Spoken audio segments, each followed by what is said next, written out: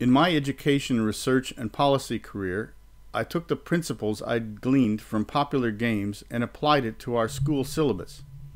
I consulted our maths advisor about which elements in the curriculum were the most boring or hard to pitch, and he mentioned, not surprisingly, number series. I can't recall ever using any of those sequences in my working life, let alone my daily life. So I looked at the maths kindergarten to sixth year syllabus items and noted number sequence, data measurement, patterns, algebra, and geometry. I tried to think of a meta activity that would require all of these.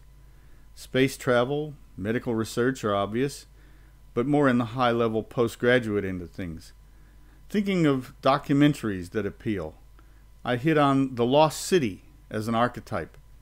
Each week, someone finds Atlantis or the cradle of civilization. Think of it, Professor? It's amazing.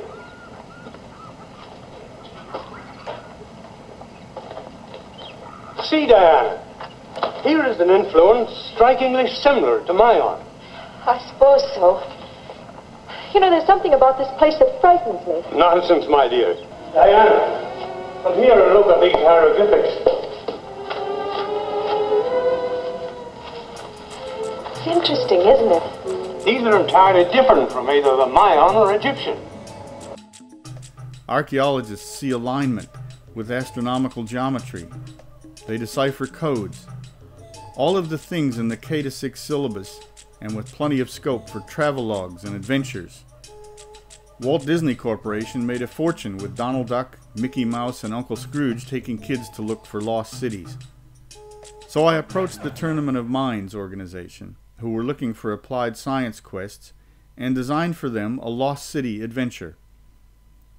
The tournament allowed me to give the students questionnaires, and I was able to publish some surprising results. The kids said this online game did not help their schoolwork.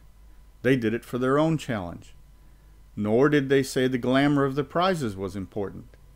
This was a very important finding as a lot of the expense in these games, hundreds of thousands of dollars, goes into the award ceremonies, often involving interstate travel, hotels, airplanes.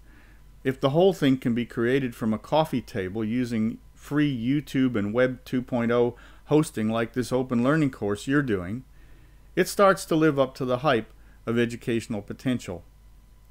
So for homework, think of an educational need that might be met with a game. List some tasks that are common to this need. List some contaminants that would make it hard for you to gauge whether they were learning anything new or were merely calling on prior skills and knowledge.